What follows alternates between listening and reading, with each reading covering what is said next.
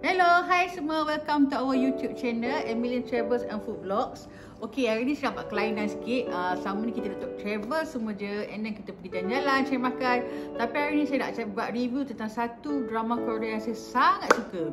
Actually, uh, saya ni memang peminat drama Korea daripada dulu lagi sejak tahun 2002 bila uh, first time drama Korea yang pertama ditayangkan di Malaysia iaitu Winter Sonata. So saya daripada situ sampai sekarang saya memang tengok cerita Korea then disebabkan sampai Puja fanatik kat drama Korea ni jadi saya pun dah tiga kali pergi ke negara Korea Alhamdulillah rezeki kan saya baru pergi waktu, waktu winter waktu musim uh, panas waktu dulu pun saya pergi kan. Sebab selampau tuja dengan drama Korea. Jadi alhamdulillah tapi pada hari ini saya nak review satu ataupun saya nak bukan review lah saya nak beri pendapat saya. Uh, uh, saya punya persepsi tentang satu drama Korea yang sangat popular iaitu cerita drama Penthouse. Okay, actually Penthouse ni telah pun tamat tayangannya di uh, SBS satu channel uh, drama Korea yang sangat popular. Dan dia baru saja habis dalam bulan sebulan lepas saya dari sehari ke hari sehari saya nak buat review tentang drama Korea ni tapi tak sempat. Jadi hari ni saya ada kesempatan untuk buat review. So saya cadang saya nak buat uh, cak beri reaksi ataupun review saya tentang drama Korea Penthouse okay actually Penthouse ni um, terbagi pada tiga season jadi season pertama ditayangkan pada tahun 2020 uh, pada hujung tahun 2020 di mana dapat 24 episod uh, season kedua pada awal tahun ni dalam uh, 24 episod juga dan season ketiga dalam 14 episod baru sahaja tamat tayangannya dalam sebulan lepas. Okey, semua tertanya apa menarik dalam Penthouse ni kan? Pada saya Penthouse ni memang satu drama Korea sangat menarik sebab ia terlalu complicated, tentang kehidupan uh, golongan-golongan konglomerat yang di yang terdapat di Korea lah. Jadi Uh, mungkin saya rasa Adina pun telah ada menonton uh, drama Korea ni. Jadi uh, sebelum tu kita saksikan dulu apa yang tersirat dalam cerita drama Penthouse. Okey, kita saksikan untuk season pertama dulu. Saksikan guys. Okey, uh, untuk season pertama ni kita ceritakan dalam belakang pasal Penthouse ni. Okey. Penthouse ini merupakan sebuah uh, rumah yang ataupun istana Hera yang sangat cantik letak di tengah bandar Seoul di mana kat situ mempunyai apa ni uh, hanya dilukis oleh golongan konglomerat Korea lah jadi kita saksikan gambar-gambar Hera Palace. Uh, dikenal sebagai Hera Palace Penthouse ni ya. Yang sangat cantik sangat egah dan menunjukkan kemewahan yang uh, untuk golongan-golongan yang um, yang sangat apa sangat kaya di Korea kan. Jadi actually uh, Hera Palace ni didiami oleh uh, golongan-golongan uh, uh, peniaga-peniaga konglomerat yang berjaya. Dan mereka memiliki uh, setiap unit di situ dan tinggal di situ bersama anak-anak dan keluarga mereka. Okey. Okey ini merupakan uh, sebahagian daripada uh, apa? Gambaran dalam penthouse di mana yang digambarkan suasana kemewahan, kemegahan dan uh, suasana hiasan yang sangat eksklusif yang memang menggambarkan golongan-golongan kaya lah. Jadi uh, penduduk Pulau Palace ni memang sangat uh, sophisticated uh, dan sangat uh, menampakkan apa? Uh, kemewahan antara satu sama lain kan. Jadi jadi kita saksikan uh, gambar di dalam rumahnya di dalam rumah, rumah di Harap Pilis ni yang memang sangat cantik, sangat mewah, sangat gah, sangat elegant. Dan ini merupakan penghuni-penghuni di Harap Pilis. Eh, jadi mereka bersosial di antara sama lain dan sering berkunjung di antara sama lain lah. Jadi uh, actually harapan di sini memang menjadi impian semua orang untuk tinggal di sini dan uh, ia hanya diduduki oleh golongan-golongan yang memang orang kata kaya raya di Korea pada masa ini. Maksudnya dalam keadaan penthouse sebenarnya kan.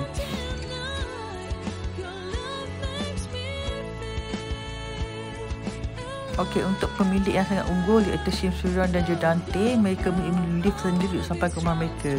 Dan ini merupakan keluarga watak utama dalam drama ni iaitu Sim Suryan yang mempunyai dua anak iaitu Sok dan Sok Hoon. Okey, uh, Sim Suryan merupakan isteri kepada Jodante iaitu watak utama dalam drama ni digambarkan seorang yang sangat elegan, sangat cantik dan uh, sangat dicemburui oleh wanita-wanita yang tinggal di Herapolis ini gambar uh, apa Sim Sudan bersama anak-anaknya lah. Dan uh, ini merupakan anak lakinya Sok Hun. Dan uh, ini pula gambar anak perempuannya Sok Kyun pada mulanya dia digambarkan satu keluarga yang sangat bahagia dan uh, kita sangat cemeri oleh uh, penduduk-penduduk di sini. Dan Sinsura ni tidak bekerja tapi dia, dia mewarisi kekayaan yang ditinggalkan oleh keluarganya iaitu uh, perniagaan perabot yang dibaca nama Giacomo. Dan dalam penampilan uh, di slide episod ni Sinsuron yang dipegang oleh watak uh, yang didukung oleh pelakon Ijiyah memang sangat elegan, sangat cantik dan sangat sophisticated dan menjadi uh, menjadi apa bahan cemburu oleh penduduk-penduduk Herapolis yang lain. Siswa ni uh, dia sangat penyayang, uh, sangat ber- menyayangi kedua ibu kedua anaknya Sohun dan Sukun dan pada masa sama dia juga merupakan uh, seorang rumah yang sangat apa uh, setialah kepada suami dia dan ia membuat dan masak kerjanya sendiri memasak untuk keluarga dia sendiri ini pula merupakan keluarga Chang So Jin yang berkahwin dengan Dr. Ha dan memiliki seorang anak yang bernama Huan Bion Uh, actually Chen Soji ni merupakan uh, anak kepada seorang uh, jutawan atau wartawan juga di Korea dan dia mewarisi kekeluargaan kekayaan keluarganya dan uh, merupakan seorang penyanyi, penyanyi soprano yang sangat bagus. Okay, actually uh, konflik di dalam drama Penthouse ni timbul apabila Chen Sojin yang sudah berkahwin dengan Dr. Ha dan mempunyai anak bernama Hambion memiliki mempunyai hubungan uh, terlarang dengan suami Sensuri yang Jo Dante sehingga menyebabkan mereka uh, mendirikan rumah tangga. Dan konflik ini timbul di sini apabila uh, Chiang Sejin telah berpisah dengan Dr. Ha, suaminya dan memilih Jodante untuk tinggal dan kahwin bersama Jodante. Ini pula merupakan uh, Oh Yung Yi yang punya anak uh, merupakan ibu tunggal dan punya anak yang bernama Berona. So Yui ni pada mulanya merupakan seorang uh, perempuan yang uh, hidup biasa-biasa je tetapi mempunyai cita-cita untuk memajukan dirinya dan ingin menumpahkan anaknya Berona setanding dengan anak-anak di hadapan dia yang lain. Dia sangat berkata apa saja untuk anak dia Berona kan. Dan ini pula keluarga Komari yang merupakan uh, salah seorang penduduk di Herapolis dan anak mereka bernama Jenny. Jadi Kamari memainkan watak penting juga dalam drama Penthouse ni. Okay guys, actually kan uh, Ong ni uh, berkawan baik dengan Shin Surun dan Ong Yuyi dan Shin Surun sering bekerjasama dalam beberapa-beberapa isu yang timbul dan konflik yang berlaku di dalam Penthouse. Dan saksikan gambar kemasuk Amerika ya guys. Dan ini pula merupakan gambar anak-anak uh, ataupun pelakon-pelakon uh, cilik di dalam penthouse dan uh, ini bukan watak utama Verona iaitu anak kepada Yugi yang sering dibuli oleh uh, penduduk-penduduk hera, uh, anak-anak Herapolis lain disebabkan dia, dia sangat dia miskin dan tidak setanding dengan uh, anak-anak Herapolis lain.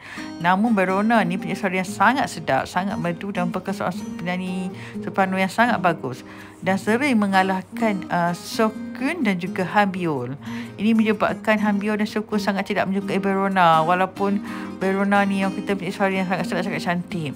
Hinggalah pada satu hari pada satu pertandingan uh, di Chong Ah um, Music School dan uh, Hambio telah uh, apa membuat keputusan untuk men, mencederakan Verona setelah satu pernikahan berlaku disebabkan pada ketika itu Verona mempamerkan kesabaran yang sangat cemerlang dan uh, mereka apa berteringkah atau bersisi faham selepas pertandingan tersebut sebelum pertanding apa uh, keputusan itu diumumkan. Jadi Habib telah menolak Verona dan menyebabkan Verona jatuh dan cedera parah. Dan uh, walau bagaimanapun uh, Verona telah berjaya diselamatkan dan dibawa ke hospital. Namun pada dia masuk ke hospital tu uh, Dante berniat untuk membunuh Verona. Tapi uh, Sim Suron dan bersama dengan Logan Lee telah pun menyelamatkan Brona dan menyembunyikan Brona buat seketika. Buat seketika. Okey, ini merupakan Min Soa. Min Soa ni sebenarnya merupakan uh, anak kepada Sin Suryon. Sin Suryon ni sebenarnya sebelum kahwin nanti telah berkahwin dengan satu lelaki yang lain dan tinggal di Amerika Syarikat. Dari sana dia telah mengandung dan melahirkan dua orang bayi perempuan. Seorang bernama Min Soa, seorang lagi bernama Sok Okey, ini bukan suami pertama uh, Sin Suryon. Namun suami pertamanya telah dibunuh oleh Jodante. Dan uh, lagi satu konflik ditimbul apabila Ming Sua ni yang merupakan anak kepada Sin Suryon tanpa pengetahuan Sin Suryon yang yang Ming anak dia uh, telah pergi ke Herapolis dan uh, mengajak anak-anak di Herapolis uh, di dalam uh, bidang-bidang uh, pelajaran juga bidang nyanyian. Jadi uh, disebabkan uh, Nusua ni bersuara yang sangat sedap. Jadi anak Herapolis ni tak suka kepada Nusua jadi uh, Nusua ni pula dia dapat tahu hubungan antara Tian Sojin dan juga Jodante jadi disebabkan itu uh, apa ni Jodante dan uh, Tian Sojin ni telah uh, membuat perancangan untuk membunuh Min Sur'a dan apa yang menyedihkan semasa kejadian itu berlaku uh, Sin Surron telah menyaksikan sendiri bagaimana Min Sur'a itu jatuh daripada bangunan yang tinggi di hadapan Pelis tu ke bawah di depan matanya sendiri. Dan ini menjadikan sangat trauma kepada uh, Sin Surron pada pada masa itu Sin Surron mula mencari siapakah pembunuh sebenarnya untuk Min dan siapakah Min sebenarnya dan apabila dia membuat uh, apa uh, catatan sendiri dan didapati Miswak itu bukan anak anak kandungnya sendiri dan pembunuh untuk Miswak Ihram bukan suaminya Tujuh Dante dan juga Cheong Sojin. Jadi bermula daripada itu uh, Shin Sudon telah memberi dendam untuk membalas dendam atas kematian anak anak kandungnya sendiri terhadap iaitu terhadap Dante juga Cheong Sojin Okay, uh, actually uh, Min Surah ni sebenarnya uh, telah dipelihara di rumah anak yatim dan telah dijual kepada satu keluarga kaya uh, iaitu keluarga Logan Lee di Amerika Syarikat. Maknanya daripada Seoul ni uh, Min Surah ni bawa ke Amerika Syarikat dan dijaga sebagai an- uh, keluarga angkat uh, sebagai angkat oleh keluarga Logan Lee. Ini sebenarnya hanyalah sebagai satu helah. Sebenarnya Min Surah ni diperlukan untuk mengambil uh, apa pembedahan di tulang belakang dia bagi membuat rawatan kepada Logan Lee. Dan disebabkan itu Logan Lee berasa turang pudi pada Surah dan bertekad pulang ke Korea untuk mencari siapakah penuhnya sebenarnya Surah. Jadi di sini timbullah uh, satu uh, apa ni yang kata plot yang sangat menarik di mana semasa um, pencarian di Korea tersebut dia telah berjumpa dengan Shin Surya dan juga Chiang So Jin. Okey guys, okey semasa episod pertama kan, Pak Hairan dia uh, didapati bahawa um, apa Sin Surya ni dia telah tahu yang uh, bagaimana Atri dibawa ke Amerika Syarikat tapi dia pada mulanya nak bunuh Logan Lee tu. Tapi bila dia tahu bila buat siasat-siasat dia dah tahu sebenarnya Logan Lee dia menolong Mesut kan. Jadi dia pun pada masa itu dia pun mula bekerjasama dengan Logan Lee dan dia mula lebih cinta di antara mereka.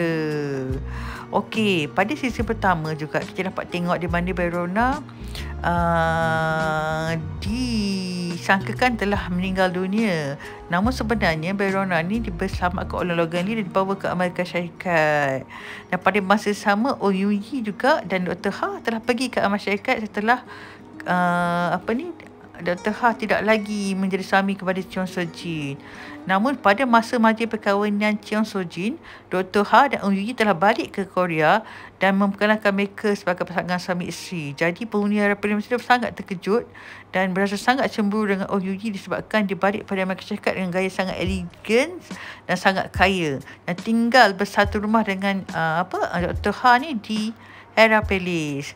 Okey, Chen Sojin ni pula pada masa itu pula walaupun dia sudah pun berkahwin dengan uh, John Dante namun apabila melihat uh, bekas suaminya pulang dengan penuh bergaya dia ada pula apa perasaan kepada Dr. Ha. Di situ juga telah berlakunya timur konflik apabila John Dante mengetahui yang Chen Sojin masih menaruh perasaan terhadap Dr. Ha.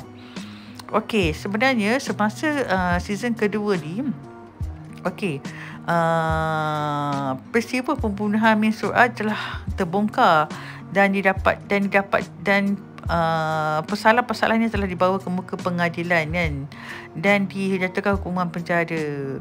And then uh, plot terakhir di dalam uh, season kedua ni di mana uh, pada masa Logan Lee ingin berjumpa dengan Shin Suryon dan Dante pada masa itu telah buat satu rancangan meletakkan bom di kereta yang dia dinaiki oleh Logan Lee dan menyebabkan Logan kereta tersebut telah meletup dan Logan Lee disangka telah pun mati semasa pengakhiran episod ini. Jadi uh, dalam cerita penthouse ni banyak sangat konflik yang berlaku banyak sangat apa dendam atas sama lain berlaku kan jadi uh, di situ lah timbulnya watak-watak yang uh, yang sangat menarik sangat unik kan Okay guys, kemudian uh, pada season yang ketiga muncul pula satu watak iaitu uh, Sinsuran yang berambut pendek. Namun kita sang, muka yang sangat sama tapi kita ingatkan Sinsuran rupanya uh, pada perempuan yang bernama Na Egyo. Na Egyo ni sebenarnya bukan kekasih kepada Jodante sebelum dia berkahwin dengan Sin Suryon. Jadi Na Egyo ni uh, merupakan uh, pem, uh, kekasih Jodante dan mereka membuat perancangan dengan Jodante untuk merampas tempat Sin Suryon. Dan Agio, Na Egyo ni um, merupakan ibu kepada si kembar tu sebenarnya iaitu ibu kepada Sok dan juga Sok Kyun. Jadi dia terpaksa menghilangkan diri apabila uh, pasal ketika setelah mengetahui Jodante telah mengkhianatinya. Okay, actually Agio ni pada masa akhir season pertama, uh, kita sangka seseorang yang dibunuh tapi sebenarnya Agio yang mati sebenarnya sebab Agio pada masa seseorang pergi untuk menyelamatkan anak-anaknya daripada Jodante. Dan Agio telah menahan seseorang di lobi di lobi Herapolis dan telah menggantikan tempat seseorang untuk pergi berjumpa dengan Agio. So sebenarnya yang mati pada season pertama adalah nak Agio bukannya Sin Suryon. Jadi di dalam episod yang uh, apa season yang ketiga ni uh, Logan Lee telah uh, mengekori uh, Nak Agio dan buat siasatan terhadap Nak Agio dan dapati sebenarnya Nak Agio ni merupakan Sin daripada apa tingkah lakunya. Dan uh, pada season ketiga juga, uh, Logan ni telah memberi uh, tugasan kepada Ong untuk uh, mencari siapakah seorang lagi anak Sensuron yang telah meninggal dunia semasa ditembak oleh Jodante. Dan didapati lahir bayi tersebut merupakan So cute. Jadi Jordan uh, semasa uh, Oyayi untuk memberitahu kepada uh, kepada Sensuron tentang uh, kebenaran ini, Dante telah uh, menggekeri Oyuyi dan sehingga Oyuyi sampai ke satu tebing dan menyebabkan Oyuyi uh, apa kereta Oyuyi ini ditahan daripada tebing dan Oyuyi terpaksa bergelut berlawan dengan Dante. Pada masa sama sebenarnya pada masa itu juga Oyuyi ber apa uh, bersepakat apa ber, berusaha bersungguh untuk menyelamatkan Hambion yang pada masa itu telah ditawan oleh Dante. Namun semasa uh, Sojin sampai ke tempat kejadian dan dia dapat menyelamatkan Han anak dia tapi namun dia sebaliknya tidak pula ada rasa untuk selamatkan Ong Yui tapi dia sebaliknya menolak Ong Yui dan masuk dalam tasik dan Ong Yui telah mati pada masa ketika itu. Jadi di sini watak Ong Yui memang uh, telah dimatikan dan uh, timbullah satu persatu konflik selepas itu dan didapati Berona sangat sedih atas kejadian yang berlaku. Okay guys, pada season ini juga muncul juga satu sebenarnya uh, semasa kejadian pengeboman berlaku uh, Logan Lee sebenarnya diselamatkan oleh uh, Sekretari Cheong So Jin dan dibawa satu tempat yang dirahsiakan. Namun Dr. Ha telah diperintahkan oleh Cheong So Jin tanpa pengetahuannya untuk menyelamatkan Logan Lee. Sehingga Logan Lee ini berjaya diselamatkan dan sedar semula daripada uh, koma dan uh, Logali dapat bertemu pula dengan Sin Suryan dan mereka bersama dan merancang bersama Dr. Ha untuk membuat balas dendam terhadap Joe Dante dan juga Cheong So Jin. Okey, Joe Dante ni apabila telah keluar dari penjara telah menjadi orang beruan dan uh, segala harta kekayaan tidak dapat dibawa bersama dan telah menjadi orang pelarian. Namun, walaupun telah dihantar ke Jepun, dia berjaya balik semula ke Korea dan dia memberi dendam uh, untuk membahas dana terhadap Cheong apa terhadap Cheong So Jin, Sin Suran dan juga Logan Lee. Dan uh, dia nanti ni menggunakan sekretari dia untuk membalas dendam. Dan uh, pada satu ketika uh, Sin Suryon dan juga Logan Lee juga telah buat perancangan untuk menarik Jodante supaya datang ke Hera dan ingin membunuh ingin me, membalas dendam terhadap Jodante dan pelan tersebut sebenarnya berjaya guys apabila uh, mereka mengajukan majlis pertunangan sebab dia orang tahu bila majlis pertunangan diajukan confirm Joe nanti akan datang ke Herapiris untuk menyaksikan majlis pertunangan antara uh, dan Logan Lee. Dan seperti dirancang pada masa tersebut lo, apa um, majlis pertunangan tersebut dijalankan uh, Joe Dante datang dan Jodante terdapat panggilan kepada Sensuron dan menyerahkan Sensuron untuk datang uh, berjumpa uh, di Herapolis uh, seorang diri. Namun uh, pada ketika itu uh, Logali pun ada bersama dan membuat perancangan untuk menyelamatkan Sensuron juga. Okey, di sini saya paparkan gambar-gambar majlis perkahwinan yang saya ambil daripada IG dan Sin Suran dan juga Logan di sangat cantik kan. Memang sangat perfect couple. Okey, dan apabila uh, Jodante buat panggilan terhadap Asin Suryon, jadi pada masa itu, masa majlis tunangan tu berlangsung, uh, pengumuman telah dibuat dan menyebabkan berlaku kekecohan dan semua yang hadir di majlis tunangan tersebut diminta untuk mengosongkan keadaan uh, ataupun uh, persetaraan dalam Hierapolis. So, apabila Surah ni berjaya, uh, uh, bukan berjaya, bila bertemu dengan Jodante, seperti tempat diminta oleh Jodante, berlaku pergerakan antara mereka dan uh, takdir memihak kepada Surah dan Surah telah berjaya menembak Jodante dan membunuh Jodante uh, dengan menggunakan mempaskan tembakan ke arah Jodante. Namun Jodante sebenarnya pada masa itu telah membawa bom dan yang dipasang di merata Heracles untuk meletupkan Heracles. Bom tersebut didapati pada sekretari Jodante, iaitu sekretari Joe. Jadi sebaik saja uh, Cicero menembak ke arah Jodante, jadi Jodante telah menekan uh, butang bom tersebut dan berlakunya letupan yang luar biasa di Heracles. Dan pada masa tersebut juga Jodante telah jatuh ke bawah uh, dan mati pada ketika itu.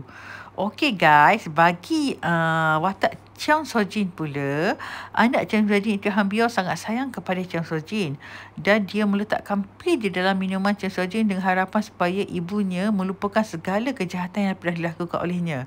Chang Sojin pada mulanya telah minum air tersebut namun di, dia dapat membuangkan air yang diminum tersebut di dalam tandas.